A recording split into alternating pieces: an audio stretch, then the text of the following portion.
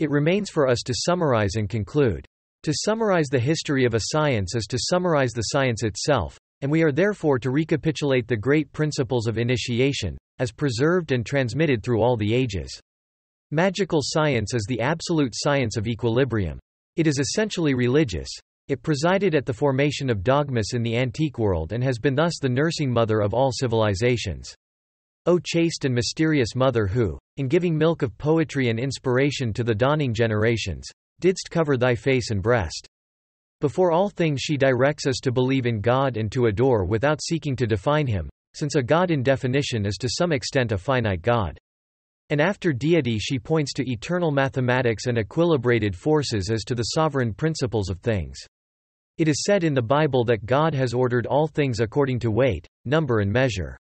Omnia in pondere et numero et mensura disposuit Deus. Weight is equilibrium. Number is quantity, measure is proportion, these three, and these are the eternal or divine basis of the science of nature. Here now is the formula of equilibrium. Harmony results from the analogy of contraries.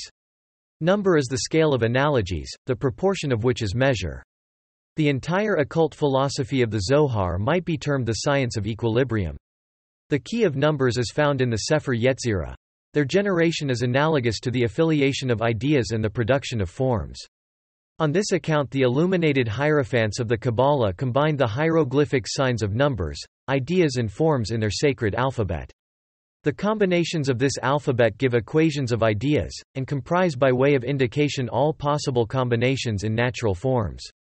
According to Genesis, God made man in his image, but as man is the living synthesis of creation, it follows that creation itself is made in the likeness of God. There are three things in the universe, the spirit, the plastic mediator and matter. The ancients assigned to spirit, as its immediate instrument, that igneous fluid to which they gave the generic name of sulfur. To the plastic mediator, they assigned the name of mercury, because of the symbolism represented by the caduceus. To matter, they gave the name of salt, because of the fixed salt which remains after combustion, resisting the further action of fire. Sulfur was compared with the father on account of the generative action of fire. Mercury with the mother, because of its power of attraction and reproduction, and salt, in fine, was the child, or that substance which is subjected to education by nature. For them also the creative substance was one, and the name which they gave it was light. Positive or igneous light was volatile sulfur. Light in the negative state, or made visible by the vibrations of fire, was the fluidic or ethereal mercury. And light neutralized, or shadow, the coagulated or fixed composite under the form of earth, was termed salt. After such manner did Hermes Trismegistus formulate his symbol, which is called the emerald tablet. That which is above is like that which is below, and that which is below is like that which is above, for the operations of the wonders of the one thing. This means that the universal movement is produced by the analogies of fixed and volatile, the volatile tending to be fixed and the fixed to become volatile, thus producing a continual exchange between the modes of the one substance and, from the fact of the exchange, the combinations of universal form and everlasting renewal. The fire is Osiris, or the sun. The light is Isis, or the moon. They are the father and mother of that grand telesma which is the universal substance. Not that they are its creators but rather its generating powers, the combined effort of which produces the fixed or earth, whence Hermes says that this force has reached its plenary manifestation when earth has been formed therefrom. Osiris is not therefore God, even for the great hierophants of the Egyptian sanctuary. He is the igneous or luminous shadow of the intellectual principle of life, and hence in the supreme moment of initiation a flying voice whispered in the ear of the adept that dubious revelation. Osiris is a black god. Woe to the recipient whose understanding had not been raised by faith above the purely physical symbols of Egyptian revelation. Such words would become for him a formula of atheism, and his mind would be struck with blindness. But for the believer, more exalted in intelligence, those same words sounded like an earnest of the most sublime hopes. It was as if the initiator said to him, My child, you mistake a lamp for the sun, but that lamp is only a star of night. Still, the true sun exists, Leave therefore the night and seek the day. That which the ancients understood by the four elements in no wise signified simple bodies, but rather the four elementary manifestations of the one substance. These modes were represented by the sphinx, its wings corresponding to air, the woman's breasts to water, the body of the bull to earth, and the lion's claws to fire. The one substance, thrice threefold in essential mode and tetradic in the form of manifestation. Such is the secret of the three pyramids, triangular in respect of their elevation, square at the base and guarded by the Sphinx. In raising these monuments Egypt attempted to erect the Herculean pillars of universal science. Sands have accumulated, centuries have passed, but the pyramids in their eternal greatness still propound to the nations that enigma of which the solution is lost. As to the Sphinx, it seems to have sunk in the dust of ages. The great empires of Daniel have reigned by turn upon the earth and have gone down into the tomb, overwhelmed by their own weight. Conquests on the field of battle, monuments of labor, results of human passions, all are engulfed with the symbolic body of the Sphinx. Now only the human head rises over the desert sands as if looking for the universal empire of thought. Divine or die. Such was the terrible dilemma proposed by the Sphinx to the candidates for Theban royalty. The reason is that the secrets of science are actually those of life. The alternatives are to reign or to serve, to be or not to be. The natural forces will break us if we do not put them to use for the conquest of the world. There is no mean between the height of kinghood and the abyss of the victim state. Unless we are content to be counted among those who are nothing because they ask not why or what they are. The composite form of the Sphinx also represents by hieroglyphical analogy the four properties of the universal agent, that is to say, the astral light, dissolving, coagulating, heating and cooling. These four properties, directed by the will of man, can modify all phases of nature, producing life or death, health or disease, love or hatred, wealth even or poverty, in accordance with the given impulsion. They can place all the reflections of the light at the service of imagination. They are the paradoxical solution of the wildest questions which can be set for transcendental magic. Specimens of these paradoxical questions shall here follow, together with the answers thereto. 1. Is it possible to escape death? 2. Is there such a thing as the philosophical stone, and what must be done to find it? 3. Is it possible to be served by spirits? 4. What is meant by the key, ring and seal of Solomon? 5. Is it possible to predict the future by reliable calculations? 6. Can good or evil be worked at will by means of magical power? 7. What must be done to become a true magician? 8. What are the precise forces put in operation by black magic? We term these questions paradoxical because they are outside all that is understood as science, while at the same time they seem negatived by faith. If propounded by an uninitiated person, they are merely foolhardy, while their complete solution, if given by an adept, would seem like a sacrilege. God and nature alike have closed the sanctuary of transcendent science and this in such a manner that, beyond a certain limit, he who knows would speak to no purpose, because he would not be understood. The revelation of the great magical secret is therefore happily impossible. The replies which we are about to give will be the last possible expression of the word in magic, and they will be put in all clearness, but we do not guarantee to make them comprehensible to our readers. In respect of the first and second, it is possible to escape death after two manners, in time and in eternity. We escape it in time by the cure of diseases and by avoiding the infirmities of old age. We escape it in respect of eternity by perpetuating in memory personal identity amidst the transformations of existence. Let it be certified, 1. That the life resulting from motion can only be maintained by the succession and the perfecting of forms. 2 that the science of perpetual motion is the science of life. 3. That the purpose of this science is the correct apprehension of equilibrated influences. 4. That all renewal operates by destruction, each generation therefore involving a death and each death a generation. Let us now further certify, with the ancient sages, that the universal principle of life is a substantial movement or a substance which is eternally and essentially moved and mover, invisible and impalpable, in a volatile state and manifesting materially when it becomes fixed by the phenomena of polarization. This substance is indefectible, incorruptible and consequently immortal. But its manifestations in the world of form are subject to eternal mutation by the perpetuity of movement. Thus all dies because all lives, and if it were possible to make any form eternal, then motion would be arrested and the only real death would be thus created. To imprison a soul forever in a mummified human body, such would be the terrible solution of that magical paradox concerning pretended immortality in the same body and on the same earth. All is regenerated by the universal dissolvent of the first substance. The force of this dissolvent is concentrated in the quintessence, that is to say, at the equilibrating center of a dual polarity. The four elements of the ancients are the four forces of the universal magnet, represented by the figure of a cross, which cross revolves indefinitely about its own center and so propounds the enigma respecting the quadrature of the circle. The creative word speaks from the middle of the cross and cries, It is finished.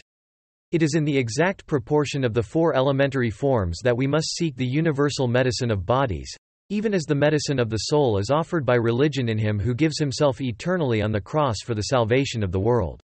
The magnetic state and polarization of the heavenly bodies results from their equilibrated gravitation about suns, which are the common reservoirs of their electromagnetism. The vibration of the quintessence about common reservoirs manifests by light, and the polarization of light is revealed by colors. White is the color of the quintessence. This color condenses towards its negative pole as blue and becomes fixed as black, while it condenses towards its positive pole as yellow and becomes fixed as red. Thus centrifugal life proceeds always from black to red, passing by white, and centripetal life returns from red to black, following the same path. The four intermediates or mixed hues produce with the three primary colors what are called the seven colors of the prism and the solar spectrum. These seven colors form seven atmospheres or seven luminous zones round each sun, and the planet which is dominant in each zone is magnetized in a manner analogous to the color of its atmosphere. In the depths of the Earth, metals are formed like planets in the sky, by the particular influences of a latent light which decomposes when traversing certain regions. To take possession of a subject in which the metallic light is latent, before it becomes specialized, and drive it to the extreme positive pole, that is to say, to the live red, by the help of a fire derived from the light itself, such is the secret in full of the great work. It will be understood that this positive light at its extreme degree of condensation is life itself in a fixed state, serving as a universal dissolvent and as a medicine for all kingdoms of nature. But to extract from marcasite, stibium and philosophical arsenic the living and bisexual metallic sperm, we must have a prime dissolvent which is a mineral saline menstruum, and there must be, moreover, the concurrence of magnetism and electricity. The rest proceeds of itself in a single vessel, being the athanor, and by the graduated fire of one lamp. The adepts say that it is a work of women and children. The heat, light, electricity and magnetism of modern chemists and physicists were for the ancients elementary phenomenal manifestations of one substance, called or, odd and ob. That is to say. Odd is the active, ob the passive, and or is the name of the bisexual and equilibrated composite which is signified when the Hermetic philosophers speak of gold. Vulgar gold is metallized ore and philosophical gold is the same ore in the state of a soluble gem. Theoretically, according to the transcendental science of antiquity, the philosophical stone which heals all diseases and accomplishes the transmutation of metals exists therefore incontestably. Does it, however, or can it, exist in fact? If we answer this in the affirmative, no one will believe, and the simple statement shall stand as a paradoxical solution of the paradoxes expressed by the two first questions, without dealing with the problem as to what must be done in order to find the philosophical stone. M. De la Palice would reply in our place that in order to find one must of necessity seek, unless indeed discovery is a matter of chance. Enough has been said to direct and facilitate research. The third and fourth questions concern the ministry of spirits and the key, seal and ring of Solomon. When the Savior of the world, at his temptation in the desert, overcame the three lusts which keep the soul in bondage, that is to say, the lust of the appetites, lust of ambition and lust of greed, it is written that the angels came down to serve him. The explanation is that spirits are subject to the sovereign spirit, and he is the sovereign spirit who binds the rebellious turbulence and unlawful propensities of the flesh. It should be noted at the same time that to reverse the natural order of communication subsisting between things which are, is opposed to the law of providence. We do not find that the Savior of the world and his apostles evoked the souls of the dead. The immortality of the soul, being one of the most consoling dogmas of religion, is reserved for the aspirations of faith and will never be proved by facts accessible to the criticism of science. Loss of reason, or its distraction at the very least, is hence and will be always the penalty of those who dare to pry into the other life with the eyes of this world only. Hence also magical traditions always represent the spirits of the dead as responding to evocations with sad and angry countenances. They complain of being troubled in their repose and they proffer only reproaches and menaces. The keys of Solomon are religious and rational forces expressed by signs, and their use is not so much in the evocation of spirits as to shield us from aberration in experiences relative to the occult sciences. The seal is the synthesis of the keys and the ring indicates its use. The ring of Solomon is at once round and square, and it represents the mystery of the quadrature of the circle. It is composed of seven squares so arranged that they form a circle. Their bezels are round and square, one being of gold and the other of silver. The ring should be a filigree of the seven metals. In the silver setting a white stone is placed and in the gold one there is a red stone. The white stone bears the sign of the macrocosm, while the microcosm is on the red stone. When the ring is worn upon the finger, one of the stones should be turned inward and the other outward, accordingly as it is desired to command spirits of light or darkness. The plenary powers of this ring can be accounted for in a few words. The will is omnipotent when armed with the living forces of nature. Thought is idle and dead until it manifests by word or sign. It can therefore neither spur nor direct will. The sign, being the indispensable form of thought, is the necessary instrument of will. The more perfect the sign the more powerfully is the thought formulated, and the will is consequently directed with more force. Blind faith moves mountains, and what therefore would be possible to faith if enlightened by complete and indubitable science? If the soul could concentrate its plenary understanding and energy in the utterance of a single word, would not that word be all-powerful? The Ring of Solomon, with its double seal, typifies all science and faith of the Magi expressed by one sign. It symbolizes the powers of heaven and earth and the sacred laws which rule them, whether in the celestial macrocosm or in the microcosm of man. It is the talisman of talismans and the pantacle which is above pantacles. As a sign of life it is omnipotent, but it is without efficacy as a dead sign. Intelligence and faith, the intelligence of nature and faith in its eternally active cause. Of such is the life of signs. The profound study of natural mysteries may alienate the casual observer from God because mental fatigue paralyzes the aspirations of the heart. It is in this sense that the occult sciences may be dangerous and even fatal for certain personalities. Mathematical exactitude, the absolute rigor of natural laws, their harmony and simplicity, suggest to many an inevitable, eternal, inexorable mechanism, and for such as these providence recedes behind the iron wheels of a clock in perpetual motion. They fail to reflect on the indubitable fact of freedom and autocracy in thinking beings. A man disposes at his will of creatures organized like himself. He can snare birds in the air, fish in the water and wild beasts in the forest. He can cut down or burn entire forests. He can mine and blast rocks, or even mountains. He can modify all forms about him. And yet, notwithstanding the supreme analogies of nature, he refuses to believe that other intelligent beings might at their will disintegrate and consume worlds, extinguish suns by a breath or reduce them to starry dust. Being so great that they are too much for our faculty of sight, even as we, in our turn, are probably inappreciable to the eye of the mite or worm.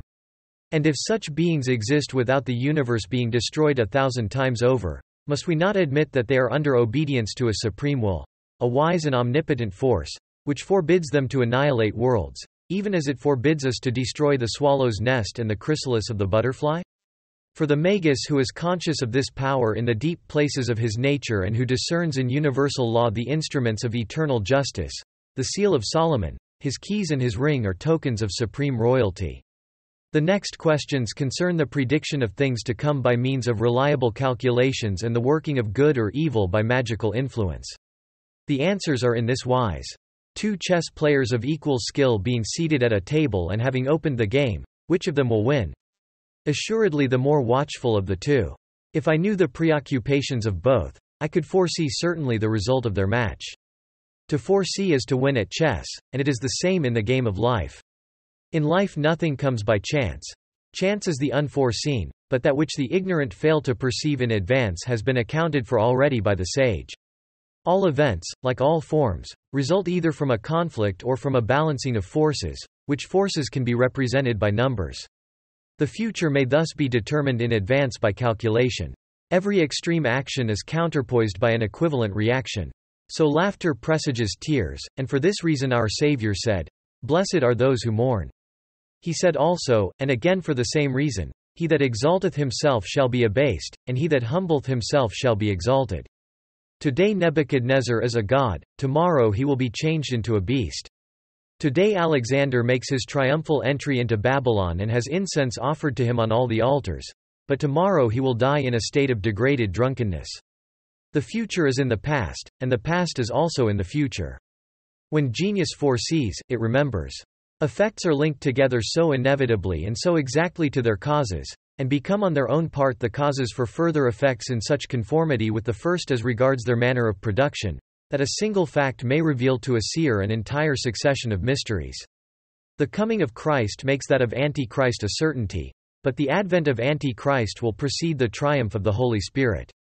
The money-seeking epoch in which we now live is the precursor of more lavish charities and of greater good works than the world has yet known. But it must be understood that the will of man modifies blind causes and that a single impetus started by him may change the equilibrium of an entire world.